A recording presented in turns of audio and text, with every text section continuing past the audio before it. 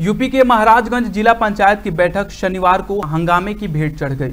Budget आवंटन को लेकर बीजेपी के ही दो विधायक आपस में भिड़ गए। देखते ही देखते तूतू मैमे के मामले गंभीर होते दोनों विधायक में जमकर नोकझोंक हो गई। लेकिन वहाँ मौजूद दूसरे विधायकों ने दोनों विधायकों को किसी तरह शांत कराया। दरअसल, शनिवार को जिला पंचायत सभागार में जिला पंचायत की बैठक थी। बैठक में कई सदस्यों को इस बात पर एतराज़ था कि स्पष्ट शासन के आदेश के बावजूद मीटिंग में पदेन सदस्य के प्रतिनिधि बैठे हैं। बैठक की शुरुआत में परिचय के दौरान मामला तब बढ़ गया जब फरेंदा से कांग्रेस विधायक वीरेंद्र चौधरी ने महाराजगंज के सांसद और मंत्री प्रतिनिधि के रूप में बैठे जगदीश मिश्रा से उनका परिचय पूछ लिया।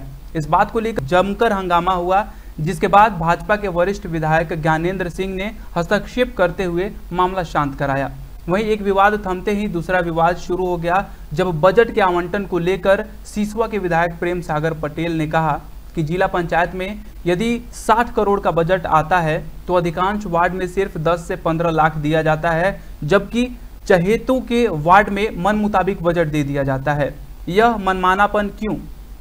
इसके बाद सदर से बीजेपी के दूसरे विधायक जय मंगल कनौजिया भड़क उठे और देखते ही देखते बैठक में दोनों विधायकों के बीच जमकर गर्मा गर्मी और कहा सुनी शुरू हो गई। नौबत मारपीट तक पहुँचने वाली थी, लेकिन किसी तरह नौतनवा विधायक ऋषि त्रिपाठी ने बीच बचाव कर विवाद को शांत कराया।